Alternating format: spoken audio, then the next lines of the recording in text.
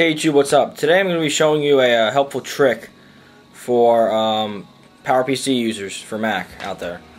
So uh, here it is. This is my setup currently that I'm running. I got two computers going. My main gaming PC and my trash picked Power Mac G5 that's not in 100% working order. I think two of the RAM slots don't work um, and the back headphone jack is shot. Other than that, it's 100% functional. It's quad core DDR2 memory, liquid cooled. I'll bring up the uh, specs of it. So you can see we got 4x 2.5 gigahertz PowerPC G5, and we have 2 gigabytes of DDR2 RAM version 10.5.8 maxed out on this.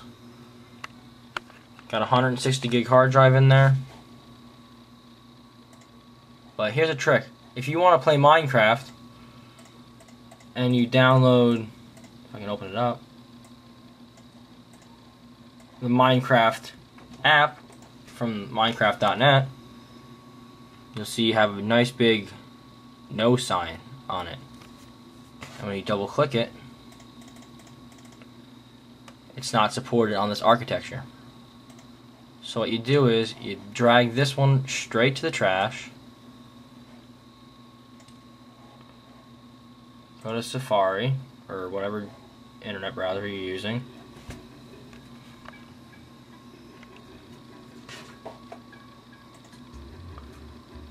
Open up a new tab. Go to minecraft.net, go to download, go to show all platforms, and download it for uh, Linux. So once you download it for Linux, go here, pause it, um, folder or application called minecraft.jar. Double click that.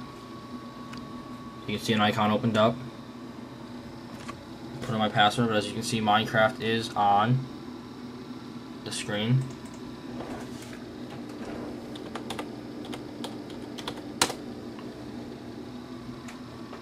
Make it full screen. No. As you can see, Minecraft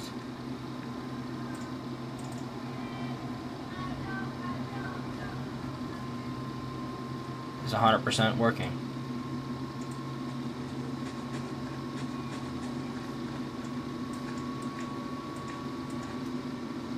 And since I'm in creative mode right now, so I was just testing it out. So you can see I got all the uh, inventory.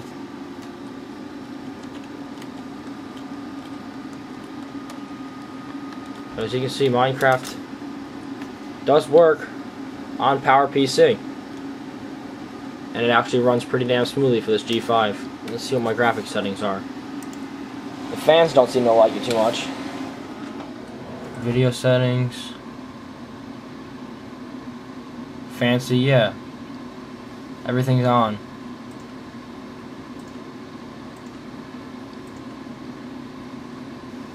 So yeah, that's that's the uh, helpful tip for PowerPC G5 users who want to run Minecraft.